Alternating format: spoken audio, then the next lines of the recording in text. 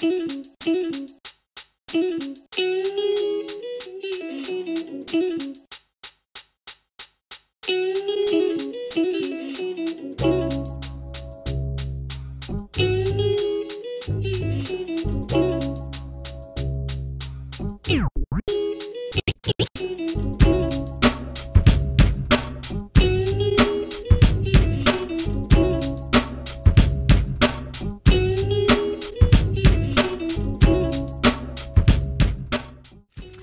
everyone.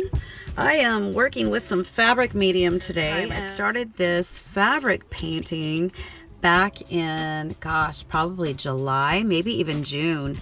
And I started it and I never finished it because I've just been so busy. And so um, I'm still busy, but I uh, just have been making some time to finish this project because I'd, I'd love to get this up and listed before uh, the holidays. So this is a fabric painting on like a denim fabric. This is a really lightweight denim. It, I got this, uh, it's like a denim dress. I got it at a thrift store and I like to use Liquitex Professional Fabric Medium. This is a small four ounce bottle and I find it lasts me uh, quite a while, the four ounce amount. And off the top of my head, I want to say this is about $7 a bottle don't quote me on that. I'm gonna have to look that one up later. But uh, I will I will put a link down below if you would like to buy some. This stuff is great. Now how you use it is you mix it at a, about a 50-50 ratio with your paint any kind of acrylic paint that you're using. Doesn't matter if it's professional paint or craft paint it works just great.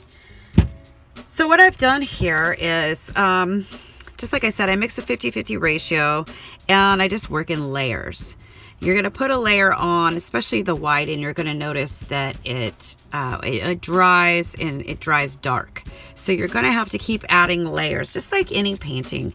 A lot of painting, most painting is uh, layers, you know. So that's what I've done here.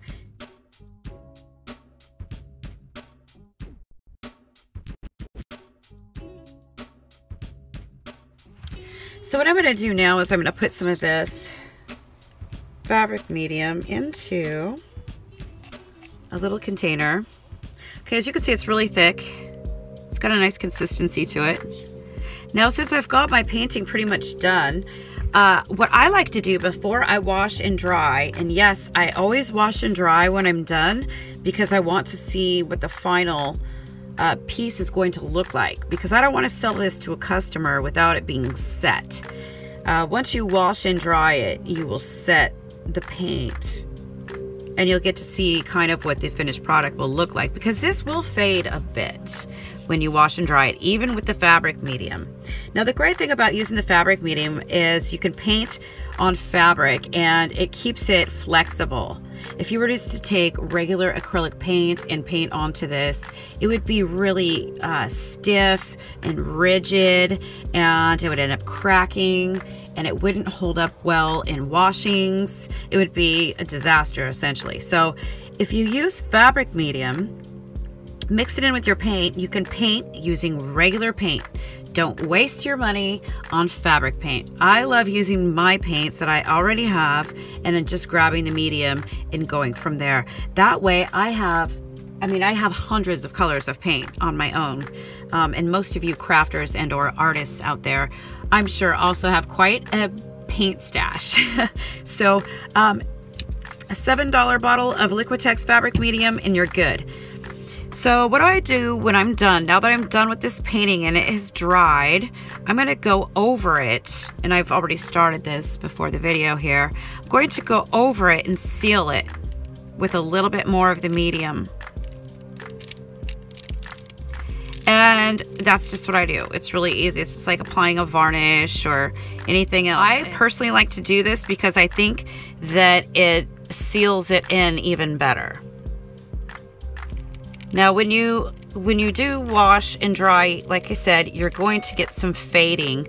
I like to try, I like a little bit of fade, but I don't want it to fade a lot. So uh, I do one or two coats just like this, where I will go over my painting after it's all done and I'll seal it up with a little bit more of the fabric medium.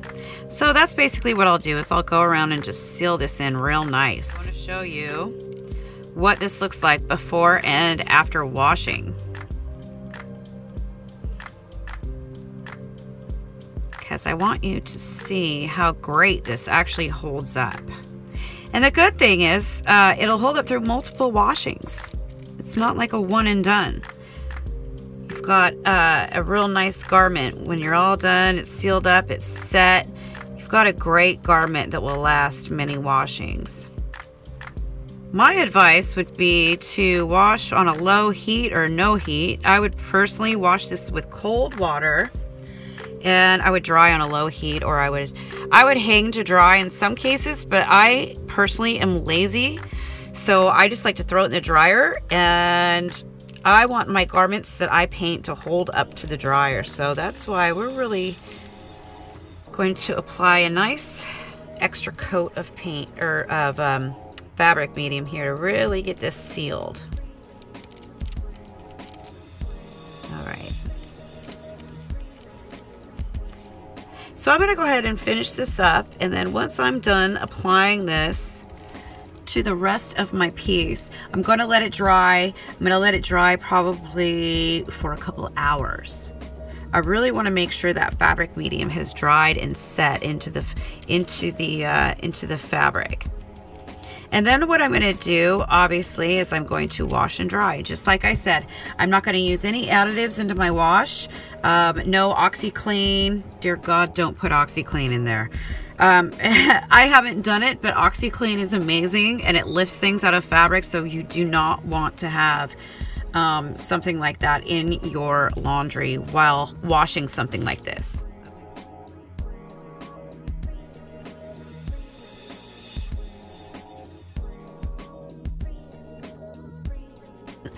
Cold wash and go easy on the heat when you dry. And that's what I'm going to do as soon as I'm done here. And then we'll come back and I will show you exactly I'll even take photos because I'm in a room with really horrible lighting right now. So um, I'll take a photo of this after it's dry. And then once it's dry, I'll get a before shot for you guys so you can see exactly what it looks like. Then I will wash dry, take it out, and then I will take an after shot. And you can see how much pigment uh, your fabric, this fabric painting in particular, has um, held onto. So uh, let's go ahead and do it. And uh, I'll be back in just a little bit to show you the results.